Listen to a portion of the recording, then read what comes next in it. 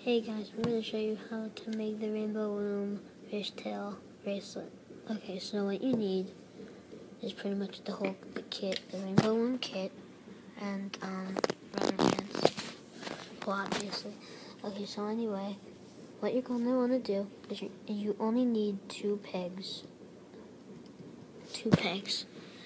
So, what you want to do is take out, um, well, I mean, it depends how much colors you want. You do the same thing over and over. So I'm just going to do neon and orange, if I can only get the orange. Um,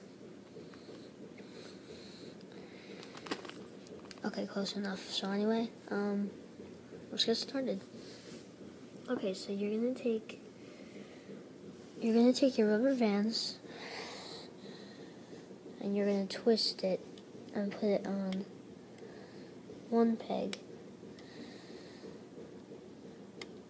But whoops. Put it on the other. Push it down. Then you're to take another color put it right on top. Now, um, whatever color is on the bottom goes on the top, but you don't twist it. Like you only twist just for the beginning. So what you want to do is just put another neon on top. Okay, there we go. And then you take your pin. Then you um you take the eight, take it, go right over with both sides. Like so. Just like that. And then orange is on the bottom so you're going to get an orange and put it on top. And then push it down just a little bit. Take it on top. And um, if I can only get this, which is crap.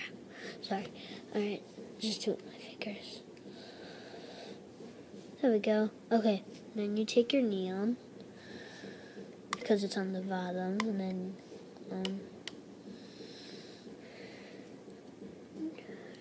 do every single thing over again. So, I mean, you can use it with your hands and you can use it with um, the pin. I mean, however you want to use it is fine. And see, it's starting to form. Okay. So orange is on the bottom, so orange goes on the top. So you take it over, take it. Oh my god. And over. And now look at that. Isn't that cool? Okay, so you take some neons on the bottom. Oh wow, these are both joined together. Okay, and put it on top that. And then put it on top. And right there. So just keep going over and over and over.